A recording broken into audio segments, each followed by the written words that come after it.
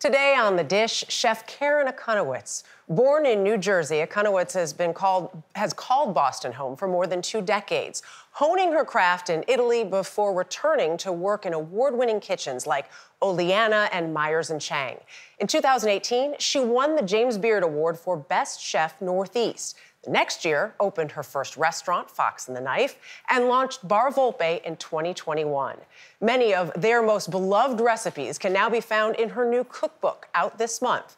Crave, bold recipes that make you want seconds. Although, as I found out, seconds may not be enough. Chef Karen Akunowicz leaves a bit of herself in each dish she creates. It's not necessarily something you see, but it is certainly something you taste. Mm. The spice right away. The sumac. Oh my that God. citrusy, you know, salinic. wow. Take her chicken under a brick.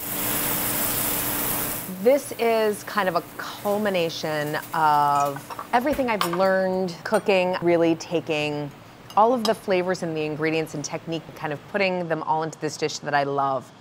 Then there's her hand rolled orecchiette. We want them to be rustic, we want them to be imperfect because the best things in life are imperfect, right? Once cooked, topped with sausage, chili, chickpeas, and broccoli rabe. Oh my gosh, and the orecchiette, this is delicious, spectacular. So when you make this, that is your thumb. Like somebody put their thumb into every single one that we make. Okay. And we're gonna press down with our thumb and we're gonna roll this way, making that little ridge around the side. Okay. That's just a bowl of somebody saying, I love you, I love you, I love you. That's how that's how I have always interpreted it. That love is something diners at Akunowicz's two South Boston restaurants, Fox and the Knife and Bar Volpe, have become accustomed to. Not just enjoying the food, but as I found out. Okay, Karen, this is the problem. I'm going to try to eat everything. and we, are on the first thing we're I tasting. know. Craving it. Her aptly titled cookbook, Crave, features those foods you just can't get enough of. What made you want to put out the recipes? Why not just make everybody have to come here? Because that's that's the leaving yourself a little bit of yourself on the on the plate. This lets me share recipes not just from these restaurants, but from the last 20 years of my culinary career with people all over. Akunowicz shared some favorites from the book with me, along with some dishes just making their mark on restaurant goers, like Bar Volpe's gnocchi with lemon, caviar, and chives. The ricotta gnocchi is like the canvas for the painting. Okay. And you have your lemon and your caviar like you would with any great caviar service. Something creamy, something caviar, lemon, chives. And it is the book because right now I'm like, I want another bite. I don't want to not have that second bite. Yeah. Crave is all about going back for that second bite. And whether that's the texture, the flavor, a contrast in, in temperature, there's always something about it that makes you go back. My God. The Farro arancini with black truffle topped with orange blossom honey and Parmigiano Reggiano, a perfect example. That's the honey. Mm-hmm. Oh. As is the calamari and shrimp fritti misti. We top them with a condiment called bomba calabrese, which is spicy, fermented chili and fennel and onions. I have a friend who comes comes here and eats this dish, and he gets one with his meal, and then he gets one for dessert. And that's my favorite thing that's ever happened. Like mic drop. I couldn't be happier. Akunowicz says those cravings are often rooted in a memory, which I experienced with dessert a chocolate hazelnut semifreddo with whipped meringue. This is like when my Nutella gelato starts to melt a little bit. Yes. That's what that is. Oh my God. Both and I'm walking in Rome. You are really doing exactly what the intention is. That's what this is. I'm going to say that from now on. It's like giving you walking in Rome vibes. Akunowicz seems to derive as much happiness from watching others eat her creations as we get from devouring them. That emotional connection told in the pages of Crave. The first time you were cooking for mm-hmm. someone, I was trying to get her to go on a date with me. And I said, Well, why don't you come over and I'll cook for you? I'll make you dinner. And she said, Yes. And I said, I can't cook. Right.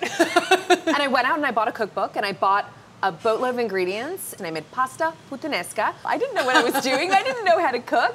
Um, but what it ignited for me was a true passion and a love for cooking. And to make a dish for somebody and say, Here, I made this for you.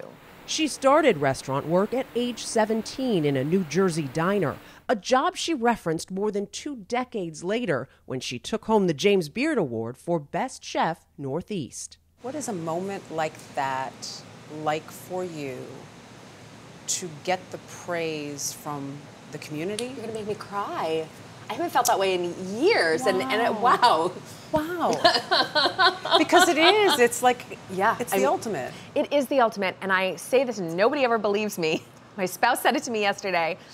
It was never a dream that I had because it felt like something that was far too unattainable for someone like me. Someone who now has two restaurants to her name is an award winning chef, author, and mom. She's the most important thing in my life. I cook for her all the time. Sometimes she likes it. May I please present to you? Oh, just please put that spoon anywhere. The staff will get it for you. Sometimes she does not like it and she throws it on the floor, so that's a lesson in humility. No matter how much love you may have put in it. She does not care. If you could go back and tell the New Jersey diner you oh my something, gosh. is there something you would tell her, advice you would have given her? keep going. Keep going. Because at every corner, somebody has told me that I couldn't do whatever it was I was going to do. At every corner, somebody has told me I wasn't good enough. That will never happen. And you just keep going even when it feels incredibly hard. And you look for the people that are in your corner and you keep them close. I think you've proven those doubters wrong. With this, when I was, you have. When I was told that a restaurant in South Boston would never would never work. Really? Yeah. I think you have two now. I think it's it's working out. I think it's okay. yeah. I loved everything about this conversation and the food. So you have wine, yeah. focaccia, and olive oil. And I want to tell okay. you, the wine and the olive oil are hers. She's worked with artisans in mm. Italy to create the wine is like a Sangiovese yeah. Merlot blend, and then this olive oil, which mm. she'll be selling on her website, and you can get in the, in stores in Boston, and, and the wine as well. But she wanted, I love this about the mm. wine, she wanted a table wine that was as good as what you'd get in Italy. If you've gone to Italy, you know, mm. like the house wine is the best thing and it's better than anything you're getting here. And that's what she's created with all of this. Her love and passion come through in everything, as I can tell from your ooms. It's, it's fantastic. I love when she says, it was never a dream for me because it felt so unattainable. unattainable. I know. And I yet, know. And, hey, and, and, yet she did it. And throw those naysayers under the bus. Oh. Under well, the bus. you don't want to hurt them, but I mean. No, okay. you can throw them under you the bus. I mean, yeah. metaphorically speaking. Thank you, Karen. We're, we're, I'm still craving. Let's not advocate violence here.